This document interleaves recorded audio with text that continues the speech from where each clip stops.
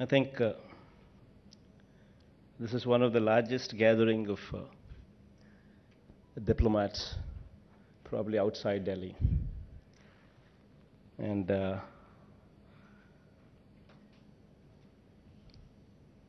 excellencies, the ambassadors, the high commissioners, consular generals, and other distinguished dignitaries from across the world. Representatives from Mongolia, Australia, Austria, Bangladesh, Bulgaria, Canada, Egypt, Estonia, Georgia, Indonesia, Japan, and the list goes on. I thank all of you for coming over here, and I welcome you, all of you, as well. More than 30 countries, more than 50 representatives, 16 ambassadors, all of them, I sincerely thank from the deepest of my heart. Today, I think you know this is one of the many initi- one of the unique initiative what uh, is being started over here, and uh, the sincere thanks to central government for actually coming forward to make this a reality. There is no, there is, uh, I think all of you here are already aware of the state's background. I would not say that, you know, we are a very developed state, we have everything on a platter. I wouldn't say that. You know, we are a port state, there's no denial of that. We don't have a tier one city like Hyderabad or a Bangalore or a Chennai. I wouldn't deny that as well. But we have our inherent strengths. We have 975 kilometers of coastline. We have four, four ports, six airports. To begin with, this is our strength. And above all, adding to our strength, I'd like to say, I'd like to speak a few words about the governance. One very important thing what attracts investment is how stable the government is. And I can take pride in telling you that an overwhelming mandate was given to us. We have, out of 175 uh, MLAs, constituencies, we scored 86% of the seats, 151 plus seats. And as far as the parliamentarians are concerned, we are also proud to say that we are the fourth largest party in the country in number of parliament seats. And we are also proud to say that we share a phenomenal good relationships with the central government and as well as the neighboring Telugu state of Telangana as well. Not to ignore Tamil Nadu, the adjoining state as well, and Karnataka as well. So the ties with the neighboring states are phenomenal. Central government support is there. There's an overwhelming mandate in our favor. This could also add to our strength when we market ourselves to the outside world.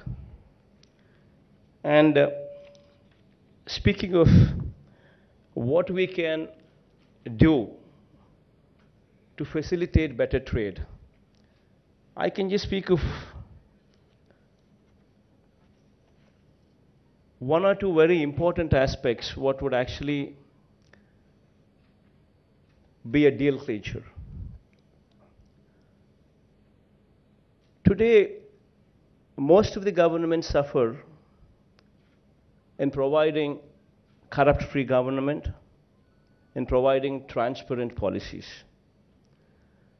This I take pride to say that our government here is committed to providing corrupt free government, a transparent policy in place, a fair policy what is very important to attract investment.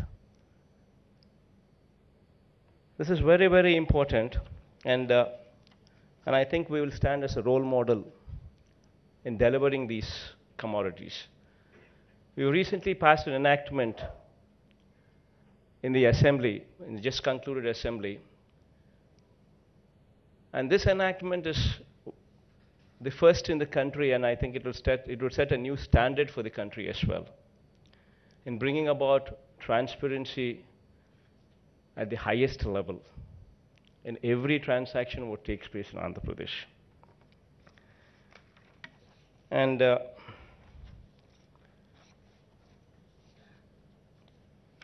I think uh, a few of uh, the 60 days of our governance,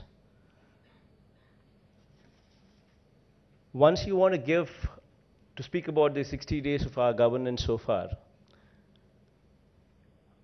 everybody stands here and you know all of us stand here and then we say we've done that we've done this we've done phenomenally well and all those things. But i think uh, most of them here also are aware of reading the newspapers reading in the news also aware of you know few of the revolutionary decisions that we've taken also what probably are slightly controversial also i think that also lingers in few of the heads as well this also, I think I should address these things in order to give you confidence. Because otherwise, there's no point.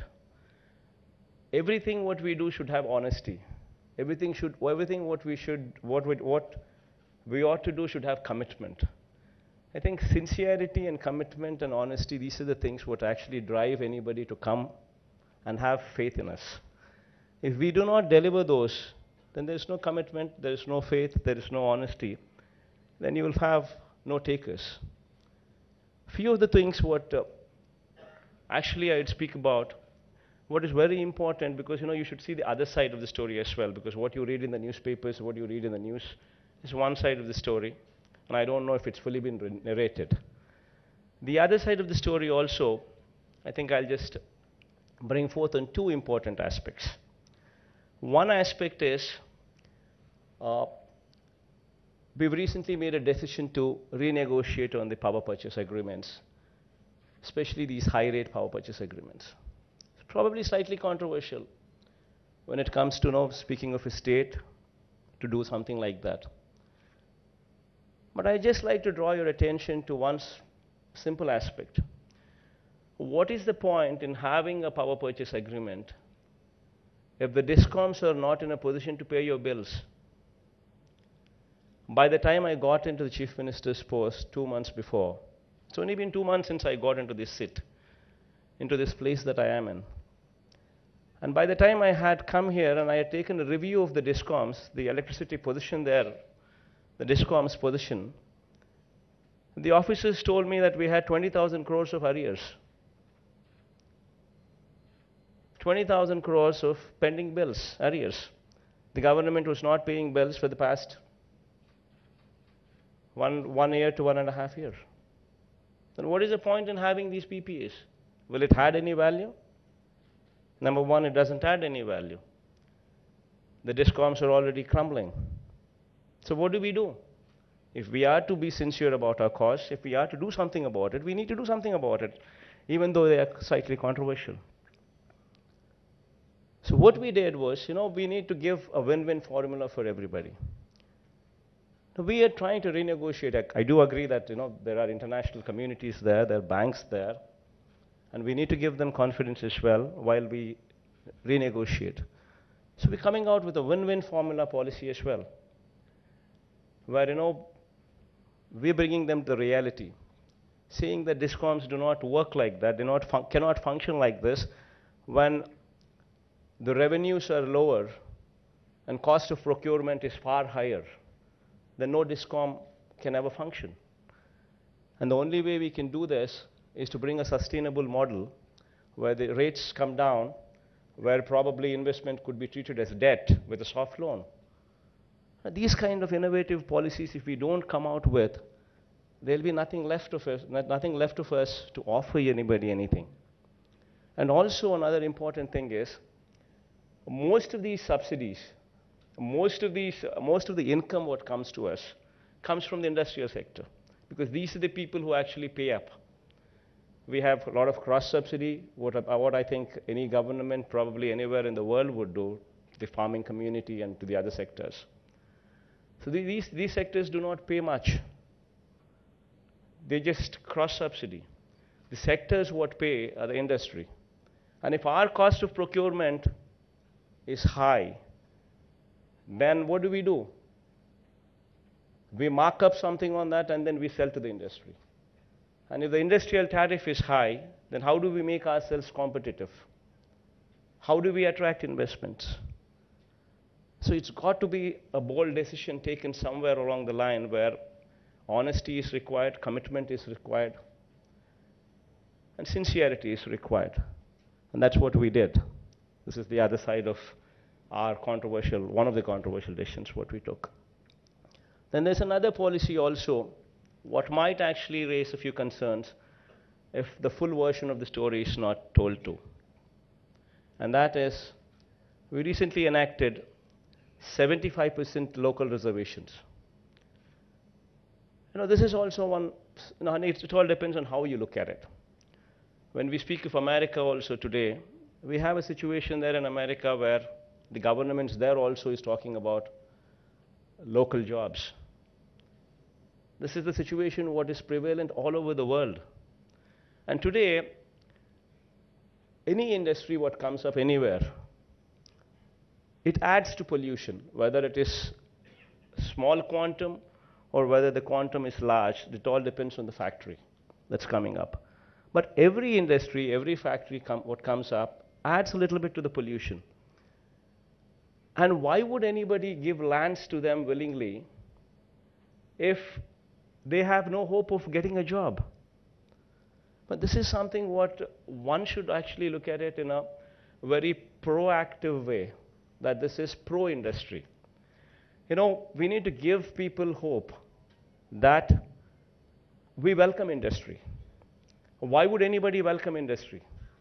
When there is hope that you will get a job somewhere in that industry, that factory, that people would actually start welcoming that industry. People would actually want the factories to come, want the industries to come. So this should be tre treated as a proactive step, wherein we would actually welcome. Then the other issue is, what about the talent? What about the skills? That would probably be one, be one of the questions what anybody would ask. And here we have a clear-cut policy in place before the industry is set up, before the groundbreaking ceremony takes place. You give us the list of what is the qualification that you're looking at. And once we have a list of your qualification, we will work with you together in developing that skill. We will make every parliament one particular uh, segment and in that, every parliament, we will develop, we will take, we will adopt one engineering college there, and we will set up a, we will set up a fact, we will set up an office there, skill development center there, and we will actively participate with you, work with you, you to actually develop these skills. We're not asking for funding there because we will support our children there to develop these skills. But we would definitely want you to support on the teaching faculty part of it so that our people would be trained good enough so that they're acceptable to you at every level. And we've made this local a concept because if this is not addressed, then you will have so much of unrest everywhere. What is the point in coming and setting up a factory there if people are not going to support the version? There is so much of unrest actually taking place everywhere. If my state is not an exception, every state and every state in the country is is also having this difficulty. So it's very important that these needs are met with. So, so the other side of a controversial decision would also have to be looked in a very proactive way. So these are the two things what we actually took in these 60 days. While we've taken the third step is to actually call on you today, take the initiative today to explain ourselves that this is the reason that we've done this.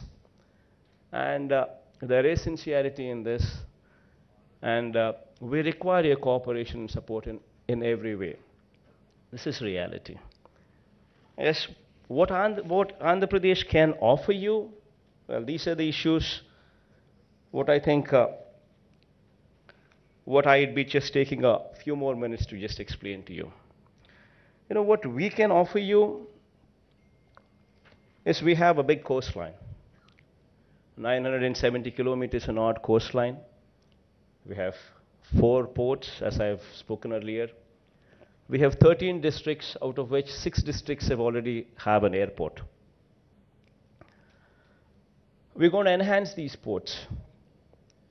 By the end of these, by the end of these five years, we will actually be coming up with four more ports. So that would make basically eight ports. Uh, as I have said earlier, with these ports, we would add value. What we can offer is Andhra Pradesh need what Andhra Pradesh needs, I would say. Aqua products, I think, you know, Harish, uh, Harish and I just spoke some time back about uh, the blue, the blue economy, and uh, what kind of aqua exports we have. What kind of, and he also spoke about the rice bowl for the country being from here. But what we are lagging also, I would just speak about it, where we need your support and where we need your help, is to come up with, you know, build standards for global markets. This is something what we need your help on. You know, our, we manufacture products, but are they to the global standards? That is something where we need your help. You know, we also want these gaps, uh, good agricultural practices, the global standards. These global standards, both in aqua as well as agriculture sector, we require your help to come forward. We would work together so that our standards improve, so that we are globally competitive as well. So that you know we help each other in a in a big way, be it agriculture, be it uh, uh, the marine part of it. Uh, productivity is one other area where you know we have ample we have ample land, but I was just discussing with uh, uh, Harish the other day, and uh, these are the things what needs improvement. For instance, we have coffee, where uh, per acre yield in coffee of ours is 250 kgs, and uh, in Vietnam, I was told, is seven to eight tons 7,000 kgs to 8,000 kgs is what I was told. You know, these kind of innovation, innovatives, innovative practices to improve productivity and yield, this would be something what we would also love to collaborate on. And then we have uh, opportunities exist in uh, seaports, investment could be sought, airports, investment could be sought.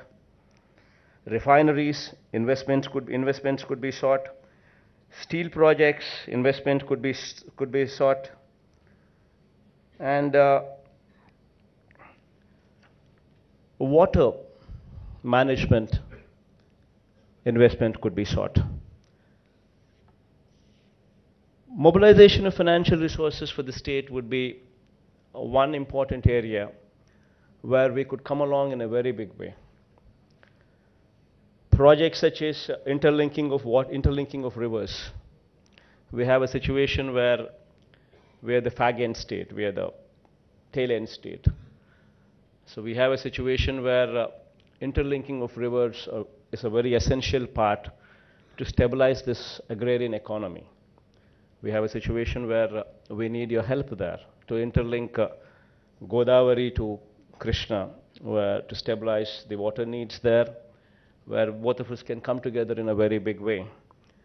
Uh, we need clean drinking water, where we both of us can come together in a very big way.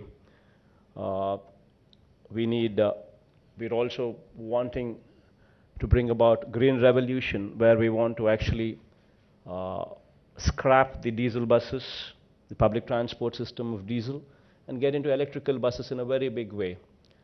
So this could also be an opportunity where both of us, uh, all of us could come together in a very big way. Food processing, uh, research universities, uh, airports and seaports I've just uh, mentioned earlier. Metro rail also in Vishakhapatnam is something what uh, is being seriously contemplated. That could also be an area where we could come, where we could work together in a very big way. Of course, uh, uh, Vijayawada and Guntur also, metro rail also, is a proposal that we have in mind. And uh, also support for our uh, innovative welfare schemes. You know, what we have contem- what we are con- uh, contemplating, you know, we've people of the state have given this kind of mandate, uh, what was never experienced in our state, and. Uh, to be very sincere, this kind of mandate has come because people's expectations are so much so high. And uh, we have a situation where we need a lot of welfare schemes to also go by.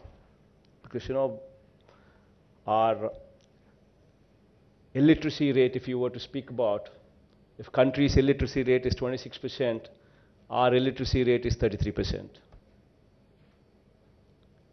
If uh, gross enrollment ratio is to be spoken about, gross enrollment ratio is 18 years to 23 years children who are being enrolled into the colleges, enrolled into the universities, into the colleges.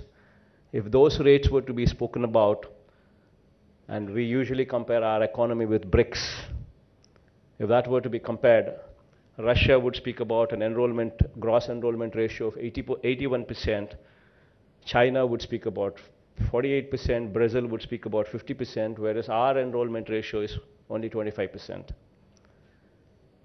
So these are the areas where you know we could actually work together in a very big way in improving our society, in uh, bringing into focus, as I as I've recently spoken about agrarian situation. We are basically an agrarian community uh, with uh, 62% of our population totally dependent only on agriculture, where where there are a lot of good in, good schemes that the state government is thought about to improve the uh, life situation of the farmers, of the ryots, where help would be solicited. A modernization of schools, modernization of hospitals, to everything else, where countries who could uh, play a big role in coming together to help us in a very big way. So all these opportunities, uh, uh, all these uh, things, what uh, I think I've spoken in depth. All what I'd like to say is, uh, while while I just spoke about the narratives, what my state could offer and what uh, my state is all about, all what I can say now is. Uh, I thank you all for coming over here and uh, with uh, sincerity at utmost level, I say that we are committed to working with you with all sincerity. And you have an honest government, and you have a very proactive team, and uh, we would definitely mark on transparency and uh, corruption-free government at highest level to give you some confidence to that extent. And uh, I think once after me, I think you'd have uh, presentations from uh, uh, six presentations would come through. Our chief secretary would present on the development agenda, and uh, uh, the other principal secretaries would speak about uh, industry and investment, social welfare programs, Navaratnalu that we boast about, health, tourism, uh, Buddhist, and uh, animal husbandry and fisheries. All these things, uh, the principal secretaries would follow up uh, after my speech here. And we have 30 secretaries uh, sitting down here readily available for any of you having any kind of uh, uh, doubt, uh, all the 30, we have 30 secretaries stationed here, and they will be very glad. We, we, we would be very glad to assist you, to, to help you in any of the doubts what you have, to clear those doubts, and you know, so that we could come together in a big way. And uh, I thank you all once again for coming over here with all sincerity. Thank you.